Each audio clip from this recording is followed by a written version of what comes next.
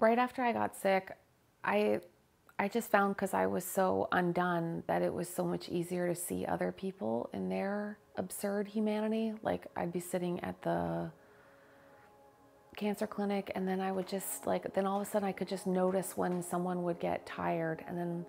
and then watching people like lean into each other or you know the mom at the grocery store needing something off the top shelf and all of a sudden everybody's humanity was just everywhere and I, I thought you know I'm never gonna forget this this is how this is the world as it is and then I kept living and I, then I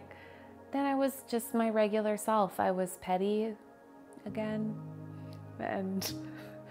and trite and forgetful and you know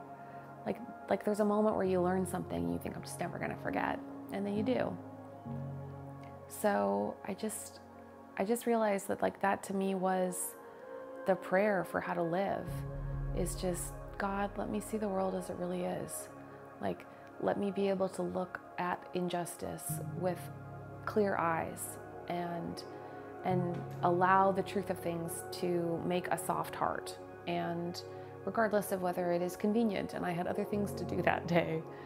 God let me notice the pain of other people and you know not forget a month after their person dies and no one else remembers just help help the truth of our humanity to be more and as real to me as my own daily crap. So, yeah, that's always my prayer is um,